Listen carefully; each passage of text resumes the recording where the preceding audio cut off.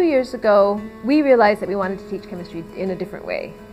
And we were, were unhappy with how much time we were spending trying to creatively come up with a way for students to discover certain concepts that seemed logical, and we couldn't figure out why it wasn't quite connecting. So we began our journey by evaluating our current practices as of three years ago. And what was really interesting is we found that there were holes when we really looked through a rubric and through an objective lens of what we were doing. And the biggest hole was in inquiry.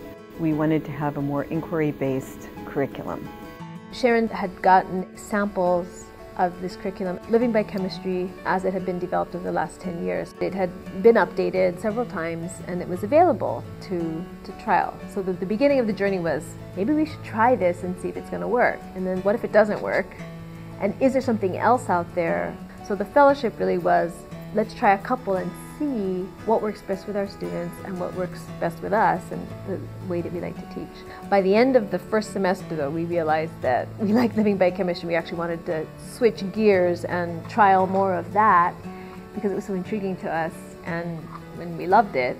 And we weren't that happy with the other ones that we thought we were going to like. So by the end of the first year, we realized this is this is where we wanted to stay, and all of this year was then taking what we had learned and solidifying what we liked and what we didn't like about living by chemistry and really staying with that one curriculum the whole year.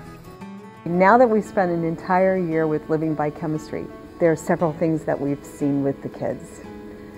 First of all, they actually really love the class.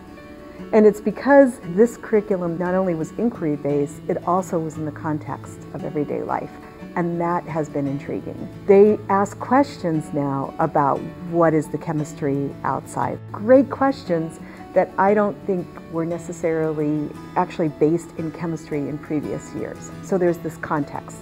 Then there's this inquiry, the fact that they're even asking questions. Whereas in the past, I don't think they were so prone to look at the world and say, where's the chemistry and how does it relate to it? The other aspect of it is that I think that there's a basic knowledge of chemistry that we're getting that I'm hoping will last longer than just for the midterm or for the final. It seems like that curiosity is permeating their everyday life. I mean, they're making these connections that I've never seen with students before, and it's really exciting. They're all standard concepts that every kid everywhere is studying, but the thing that's different is how it's presented to the student and what the student does in discovering that piece of information. Every day we're doing some kind of hands-on activity. A lot of kids need to touch and feel and do things and get excited and these activities that we do engage them in a very wonderful way. We know that in order for people to really solidify their learning, they have to have some kind of inquiry-based experience that you assess what they previously know, you have this inquiry experience, and then you have them think about the way they're learning. And every design activity lab that we do has those components, which is really what research is saying has to happen in the classroom. There's a balance between an open inquiry to a very guided inquiry with an objective in mind. And so the kids discover the learning. It's one thing to say, oh, this is what's the foundation of science, and it's another thing to say, let's go do it, and then they discover it, and then we help guide them to reach those conclusions and to get the right vocabulary. What I do notice, more so than before, is that students leave confident. They leave feeling like it's something that they can do. Whereas before, a lot of students were getting bogged down in the math and they felt like they couldn't do chemistry because they were weaker math students. And the way the curriculum is designed, you're still using math, but there's more chances for success.